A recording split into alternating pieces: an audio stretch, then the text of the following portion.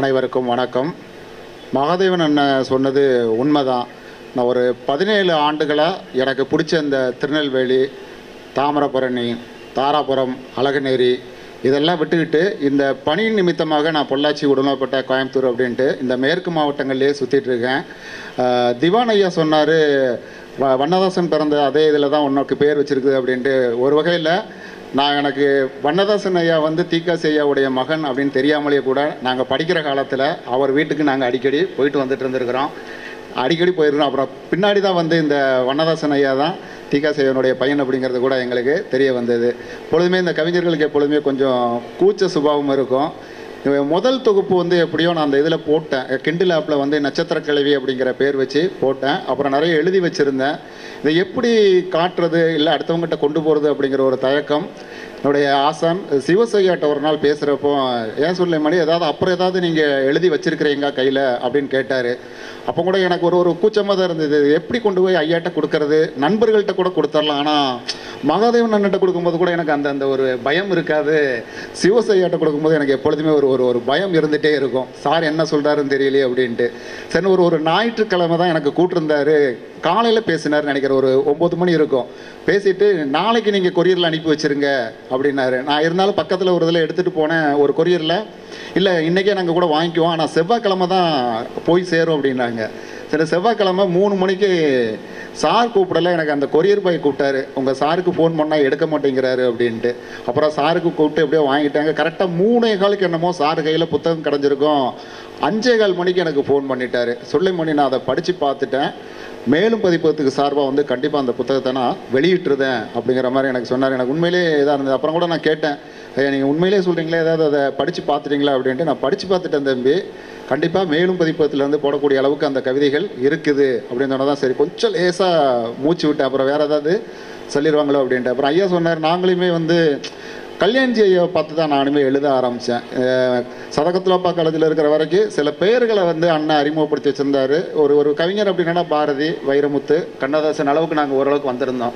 அப்புறம் மகாதேவன் அண்ணன் தான் வந்து இந்த கல்யாண்ஜிங்கிற பேர் கலாப்பிரியா அப்படிங்கிற பேர் விக்ரமாதித்யன் அப்படிங்கிற பெயர் எல்லாமே அவர் தான் படிப்படியாக வந்து எங்களுக்கு அறிமுகப்படுத்தி வச்சார். அறிமுகப்படுத்துறது இல்லாமல் இந்த புத்தகங்கள்லாம் எங்கே கிடைக்கும் அப்படிங்கிற ஒரு ஒரு பட்டியல் கொடுப்பாரு. இங்கே போனேன்னா இது கிடைக்கும் அப்படின்ட்டு கையோடு என்ன பண்ணிட்டார் அப்படின்னா ராமையா சாரும் இவரும் கொண்டு போய் சிவசையாவுடைய பாசறையில் என்னை சேர்த்து விட்டாங்க. நாங்கள் மட்டும்தான் அங்கேருந்து வரணுமா? நீ அங்கேயே போயிரு அப்படின்ட்டு. அப்புறம் தான் சிவசையாவுடைய அறிமுகம் கிடச்சது. அப்புறம் அந்த ஷிஃப்ட்டு ஒன்றில் படித்தோம் அப்படிங்கிறனால எங்களுக்கு ரொம்ப வசதியாக இருக்கும் சார் கூட பேசுகிறதுக்கு சார் சாப்பிட்டுட்டு போயிட்டு பக்கத்துலேயே வீடு. அந்த ஒரு ஒரு ஒரு மணிக்கு போயிடாரு அப்படின்னா ஒரு ரெண்டு மணி ரெண்டரைக்கெலாம் திரும்ப வருவார். வரும்பொழுது நாங்கள் எதிர்பார்த்துருப்போம். கொஞ்சம் பயம் இருக்கும் சார்கிட்ட பேசுறதுக்கு. இப்போ வரைக்கும் கூட கொஞ்சம் பயம் இருக்கும். அப்புறம் கொஞ்சம் கொஞ்சமாக அவர் ஒரு ஒரு பெரிய ப- பட்டியல் கொடுத்தாரு. இதெல்லாம் நம்ம நூலகத்திலே இருக்குது. நீங்கள் எடுத்து படித்து பாருங்கள் அப்படின்ட்டு. அதில் எனக்குமே என்ன கவர்ந்தது? அவர் தான் கல்யாண்ஜி ஐயா தான். சிலர் கூட சொல்கிறாங்க உன்னுடைய சில கவிதைகள் வந்து கல்யாண்ஜியோடைய சாயல் இருந்துக்குது அப்படின்ட்டு. நான் என்ன சொல்றேன் இருந்துட்டு போகுது அப்படின்னு தான் நான் சொல்கிறேன் இதில் என்ன இருக்குது? எனக்கு அவரை பிடிக்குது. பாரதியோடைய சாயல் வந்து பின்னாடி வந்தவங்களுக்கு இருக்குது. வண்ணதாசன் எனக்கு இருந்துட்டு போகுது கல்யாண்ஜியோடைய சாயல். ஒரு நூறு கவிதை எழுதும் போது ஒரு ஒரு பத்து கவிதையில் அவருடைய சாயல் இருந்துட்டு போகுது அப்படிங்கிறத கூட நான் வந்து சில நேரத்தில் பெருமையாக தான் நினைக்கிறேன். இந்த மேலும் சிவசி ஐயாவுக்கு என்னுடைய நன்றியை தெரிஞ்சுக்கிறேன். அப்புறம் மகாதேவன் அண்ணன் நான் எத்தனையோ தடவை சொன்னேன் அண்ணன் நான் அவ்வளோ தூரம் வரணுண்ணே எனக்கு அந்த புத்தக வெளியீட்டு விழானாலே கொஞ்சம் பயமாக இருக்குது. நான் எப்படியும் இதை நண்பர்களுக்கு எப்படி அனுப்பி வச்சுட்டே இருந்தது அப்படின்னா. இல்லை நீ கண்டிப்பாக வந்து ஆகணும் தம்பி. நான் இருக்கிறேன்ல. நான் இருக்கிற வரைக்கும் உன்னை புத்தகத்தை அங்கே வெளியிட்டே தீர்வேன் அப்படின்ட்டு எனக்கு ஒரு இது கொடுத்தாரு. நேற்று வரைக்கும் கூட சாயங்காலம் வரைக்கும் கூட அந்த பேசிகிட்டே இருந்தார். ட்ரெயின் ஏறிட்டியா? எங்கே வந்திருக்குது?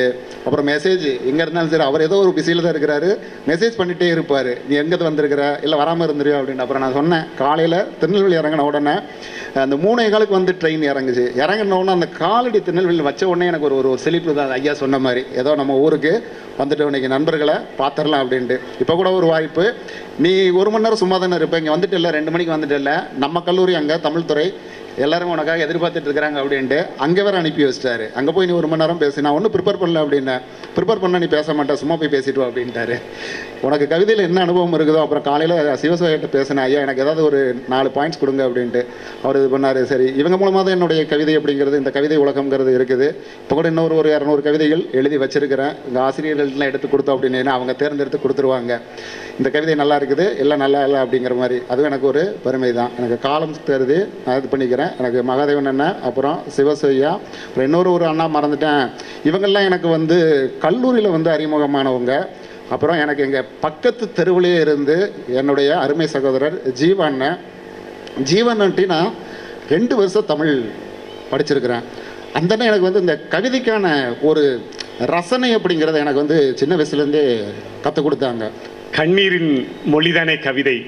சுடலிமணி அவர்களை பாராட்டுவதற்கு அவருடைய ஜீவா அண்ணனோடு அவருடைய ஊரினுடைய பெருமக்கள் வருகிறார்கள். வருக வருக. எல்லாம் கைதட்டி நம்மளை பாராட்டலாம். ரொம்ப இயல்பான கவிதைகள். நான் மீண்டும் சொல்கிற மாதிரி காவிய அரங்கத்திலும் புலம் அரங்கத்திலும் இந்த புத்தகங்கள் கிடைக்கின்றன. செவிடர் வளர்த்த தேனீக்கள் என்கிற இந்த தொகுப்பை நீங்கள் எல்லோரும் வாங்கி அவரை ஊக்கப்படுத்துமாறு அன்போடு நாம் வேண்டுகின்றோம். நம்முடைய மண்ணினுடைய கவிஞர் நம்முடைய மண்ணினுடைய மொழியோடு நம்முடைய மண்ணினுடைய வாசத்தோடு எழுதுகிறார். மேலும் வெளியிட்டகம் இதை சிறப்பாக வெளியிட்டிருக்கிறது. எப்போதும் தரம் உள்ளதே தப்பி பிழைக்கும் என்று பேராசிரியர் சிவசு அவர்கள் அடிக்கடி சொல்லுவார்கள். அந்த அடிப்படையிலே அவர்களுக்கும் நன்றி தெரிவித்து எங்களை எல்லாம் மேடையிலே ஏற்றிவிட்டு கீழே வேறாக அமர்ந்து கொண்டிருக்கக்கூடிய பேராசிரியர் சிவசு அவர்களுக்கு எங்களுடைய வணக்கத்தை சொல்லி இந்த நிகழ்ச்சியை நாங்கள் இனிதே நிறைவு செய்கிறோம். இன்னும் ஒரு நிமிஷம் இருக்கிறது. யாராவது வந்து பேச வேண்டும் என்று சொன்னால் பேசலாம். நீங்களே பேச அனைவருக்கும் வணக்கம். அருமை சகோதரர் சுடலமணி அவர்கள் எங்கள் பகுதியை சார்ந்தவர் எங்கள் ஊரை சார்ந்தவர்.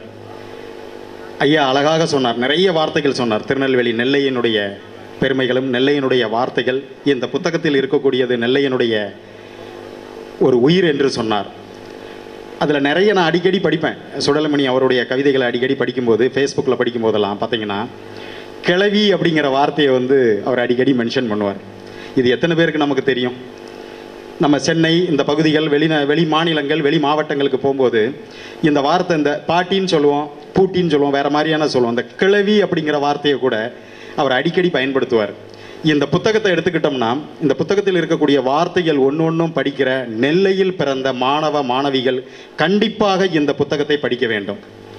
கண்டிப்பாக இதை படிக்கும்போது தன் அறியாமல் நமக்குள்ளே தாமிரபரணி என்னும் நீரானது நமது நாடி நரம்புகளுக்குள்ளாக உள்ளூர பாய்ந்து நமக்கு ஒரு புதிய புத்துணர்வை ஏற்படுத்தும். அந்த புத்துணர்வு தான் இந்த செவிடர் வளர்த்த தேனீக்கள் என்று சொல்லி எனது தம்பியான சுடலைமணியை வாழ்த்துவோம். வணங்கி அவருக்கு பாராட்டுகளை தெரிவிக்கிறேன். உங்களுடைய உங்களுடைய ஆசீர்வாதத்தோடு இந்த பொன்னாடையும் இந்த ஷீல்டையும் வழங்குகிறேன். நன்றி வணக்கம். செவிடர் வளர்த்த தேனீக்கள் என்கிற கவிதை தொகுப்பை எழுதியிருக்கக்கூடிய சுடலைமணிக்கு அவருடைய அன்பு சகோதரர் ஜீவா என்று நினைக்கிறேன். அவருடைய உண்மையாக பாராட்டுக்களை தெரிவிப்பதற்காக மேடையிலே வந்திருக்கிறார். நாமும் நம்முடைய கரவொலியை பரிசாக தந்து பாராட்டலாம்.